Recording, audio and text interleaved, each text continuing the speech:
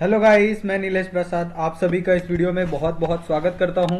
और आज का वीडियो बहुत खास होने वाला है। आज के वीडियो में हम लोग अ, कुछ ट्वेल्थ के बाद क्या कर सकते हैं उसके लिए हम लोग बात करने वाले हैं ठीक है?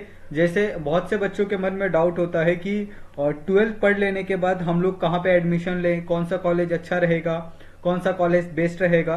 तो उसी के रिगार्डिंग यहाँ पे हम लोग मुंबई यूनिवर्सिटी में कौन से जो टॉप फाइव कॉलेजेस है और ये जो कॉलेजेस हैं, ये पालघर डिस्ट्रिक्ट वाले हैं, ठीक है?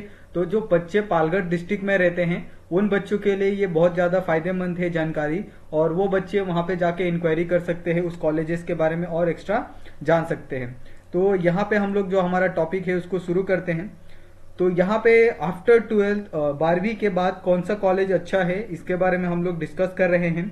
और ये बेसिकली जो पालघर डिस्ट्रिक्ट है, उसके अंदर के कॉलेजेस है, ठीक है? तो पालघर डिस्ट्रिक्ट हम लोग मुंबई डिवीज़न के बारे में नहीं बात कर रहे हैं। सिर्फ़ जो पालगढ़ डिस्ट्रिक्ट में जो कॉलेजेस है, उन्हीं के बारे में हम लोग बात कर रहे हैं। तो यहाँ पे जो सबसे पहला जो कॉलेज आता है, वो है एच कॉलेज। तो यहाँ पे सभी ने सोनापन डांडेकर कॉलेज के बारे में सुना होगा, ठीक है? और ये जो कॉलेज है, ये पालघर में ही है। तो पालघर में ये कॉलेज आपको, अगर आप पालघर स्टेशन पे उतरते हो तो वहाँ से आपको 10 या 15 मिनट का जो रास्ता है आपको यहाँ तक जाने के लिए। और यहाँ पे आपको आर्ट्स कॉमर्स साइंस ये तीनों चीज़ों के लिए आपको सिखाया जाता है। साथ में ये जो कॉलेज है ये डिग्री लेवल तक है। यानी यहाँ पे आप बीएससी कर सकते हो एमएससी कर सकते हो बीकॉम कर सकते हो। यानी डिग्री ले, डिग्री लेवल का जो भी कोर्स है यहाँ पे आपको प्रोवाइड किया जाता है। उसके बाद जो मास्टर्स लेवल के जो कोर्सेस हैं वो भी आपको यहाँ पे प्रोवाइड किए जाते हैं। और इसका जो फ़ीस स्ट्रक्चर है, वो भी बहुत कम है, क्योंकि ये जो कॉलेज है, ये गवर्नमेंट से एफिलिएटेड है। साथ में ये गवर्नमेंट इसको फंड प्रोवाइड करता है, जिसके कारण यहाँ पे आपको एडेड भी डिवीज़न मिलेंगे और अनएडेड भी डिवीज़न मिलेंगे। यानी अगर आपका मेरिट लिस्ट में लगता है तो आपको एडेड में पढ़ने मिलेगा, जिसके अंदर जो फ़ीस है, वो गवर्नमेंट कॉलेजेस की तरह होता है। ठीक है? ये हो गया फ़र्स्ट कॉलेज दूसरे कॉलेज है Saint John college of humanities and the science Palghar, Maharashtra. तो ये भी जो कॉलेज है, ये पालघर में ही है, ठीक है? तो ये भी आप कॉलेज पालघर में, अगर पालघर स्टेशन पे उतरते हो आप तो वहाँ से आप रिक्शा करके आप पाँच या दस मिनट में सेंट जॉन कॉलेज आप पहुँच सकते हो, ठीक है? और ये जो सेंट जॉन कॉलेज है, इसके बहुत सारे वैरायटी है, ठीक है? यहाँ पे हम लोग ने ह्यूमैनिटिक्स और साइंस के बारे में बात किया है। लेकिन जो सेंट जॉन कॉलेज है, उसका फार्मेसी का भी एक डिपार्टमेंट है, ठीक है? उसके बाद इसका जो इंजीनियरिंग है, उसका भी एक डिपार्टमेंट है, ठीक है? तो आपको ये सब चीज़ें पता होनी चाहिए। और इसका जो फ़ीस स्ट्रक्चर है, ये प्राइवेट कॉलेज जैसा ही होता है, लेकिन यहाँ पे आपको जो स्टडी मटेरियल है, यहाँ पे जो पढ़ाई का तरीका है, वो बहुत अच्छा है पालगढ़ डिस्ट्रिक्ट में, ठीक है? तो मेरा यही कहना है कि वन ऑफ़ द बेस्ट ये कॉलेज है बच्चों के लिए जो पालगढ़ डिस्ट्रिक्ट में रहते हैं, उनके लिए और यहाँ पे आपको और ट्वेल्थ के बाद जो डिग्री कॉलेज डिग्री लेवल तक के जो एग्ज़ाम होते हैं, जैसे और डिग्री के जो पढ़ाई होती है बीएससी हो गया, फिर बीकॉम हो गया, उसके बाद यहाँ पे आपको ह्यूमैनिटिक्स के बारे में सिखाया जाता है साइंस के अंदर जो कोर्सेस उनके बारे में भी यहाँ पे सिखाया जाता है, ठीक है? उसके बाद जो थर्ड है, Vedanta institute of medical science तो यहाँ पे सभी बच्चों ने वेदांता का नाम तो सुना ही होगा और ये भी जो कॉलेज है, ये पालघर डिस्ट्रिक्ट में ही आता है।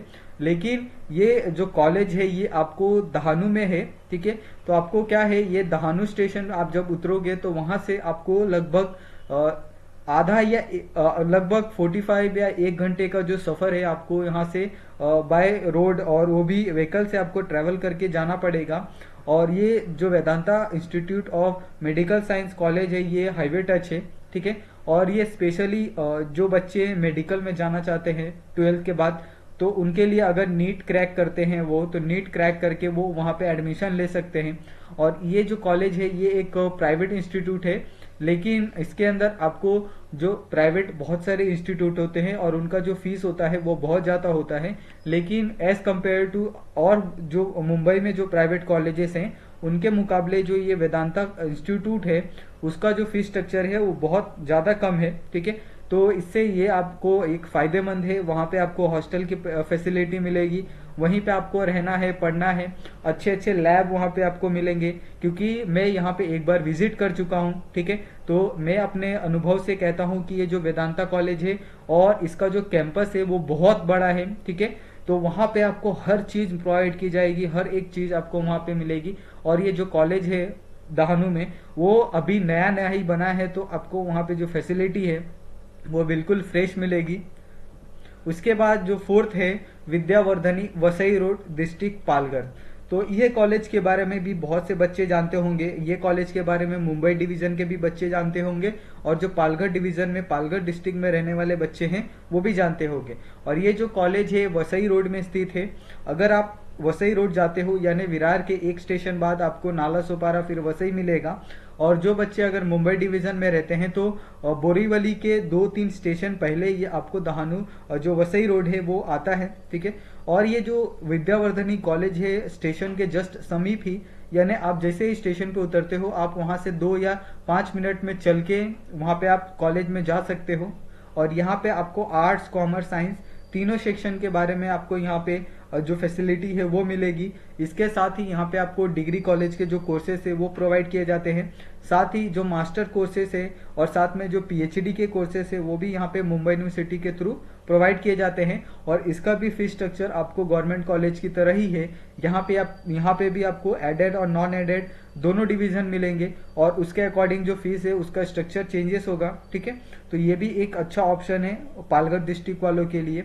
और ये जो एक लास्ट कॉलेज है विवाह कॉलेज तो ये विवाह कॉलेज है, यहाँ के जो पालघर डिस्ट्रिक्ट के हो या मुंबई डिस्ट्रिक्ट मुंबई डिवीज़न के हो, लगभग सभी लोग विवाह कॉलेज को जानते हैं क्योंकि ये जो कॉलेज है, ये अपने बच्चों के लिए फ़ेमस है क्योंकि यहाँ पे जो बच्चों का क्राउड है, वो बाकी कॉलेजेस से बहुत ज़्यादा होता है। हमने जितने भी कॉलेजेस पहले देखे या चार कॉलेजेस हमने डिस्कस किए, वहाँ से लगभग फिफ्टी परसेंट जो ज़्यादा क्राउड है, वो आपको विवा कॉलेज में देखने को मिलता है। क्योंकि एक तो यहाँ पे इसका जो कैंपस है, यहाँ पे जो बिल्डिंग का स्ट्रक्चर है, उसमें बैठने के लिए बच्चों का जो, ये बनाया गया है, सुविधा दी गई है, वो बहुत ज़्यादा बच्चों के लिए बनाया गया है। इसके साथ ही यहाँ पे जो एडमिशन है, वो बहुत से बच्चों को एक साथ लिया जाता है, ठीक है?